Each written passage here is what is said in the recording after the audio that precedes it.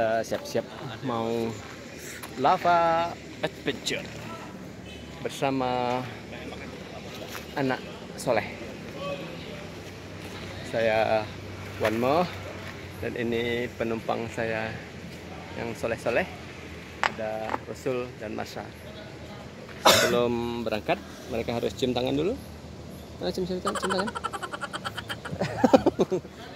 Besar berhaku kami pergi dulu. Bismillahirrahmanirrahim. Amin. Nih museum Mas Mas driver. Jeepnya keren. Bisa menjelaskan Dengan teknik guiding yang luar biasa. Keren. Nih ada termawan Oke. Datuk Oh Datuk gelas yang terbuat dari kaca pun bisa mulai terkena awan panas ada sisa abu vulkanik juga.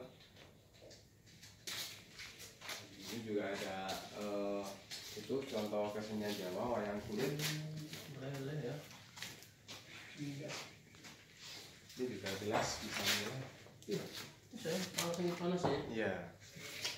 Ini ada sisa abu vulkanik erupsi 2010 Ini yang ini, iya dengan chip ya? iya Oh, Tapi segitu banyak ya? itu pun udah banyak yang diambil Dia ngeluarin uang juga ya? di kawasan Merapi menggunakan jeep jenis perpaduan antara keluaran 1950-an dan modifikasi terbaru tangguh dan menghentak-hentak dalam perjalanan yang tajam berkerikil dan kemudian luar biasa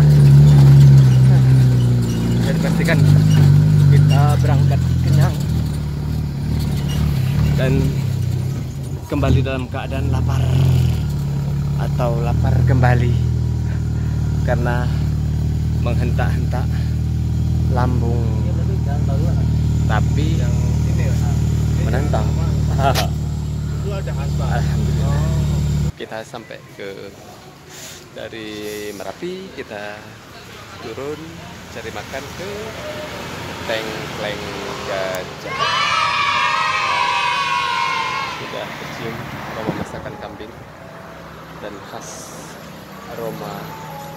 kambing olahan. Kira-kira begini.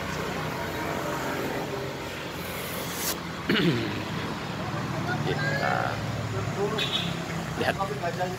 Dan inilah tengleng itu. Ini tengleng original. Dimakan oleh bapak ini. Gimana rasanya pak? Dia sudah tengleng saudara-saudara. Tak bisa ditanya sementara ini tengleng kuah ini tengleng bawang. Ini pesanan saya kenapa habis? Saudara-saudara. Memang bapak itu tengleng ini tengleng yang dipesan oleh orang tidak bertanggung jawab masih banyak. Ini Mas Ais. Betul, betul antum sah, pakai ada tambuhan sah. Betul antum. Sah. sendok di tangan kanan. Nanti nanti nanti. nanti. tengleng di tangan kiri. Dari Kerawang sampai Bekasi. Bagaimana rasanya Mas Ais Mantap. mantap Iya, maknyus. maknyus ditemani oleh air jeruk nipis dan es dawet Mas Udin. ini Mas Udin, jadi Mas Udin. Kang Mas gimana rasa tenglengnya Mas. maknyus ya dan saya masih mengamati dengan filler yang padat kembali kita tanya bapak yang senang tengleng ini gimana pak komennya pak. Masya allah gitu tengleng sudah saudara-saudara. Saatnya kita bersantap. Matahari terbenam hari mulai malam. Kita sempat alhamdulillah sholat di masjid. Saudara Jogo Karyan Yogyakarta. Sedang ini nih masjid kasnya nol. Banyak bermanfaat langsung ke umat. Luar biasa. Dan saya juga mengagum Ustadz Kawakan salin uh, villa mudah-mudahan buka bisa lagi dulunya kalau waktunya sikit-sikit. Ya oke. Mana? Siapa yang motoin? Oke. Kita berselfie dulu. Assalamualaikum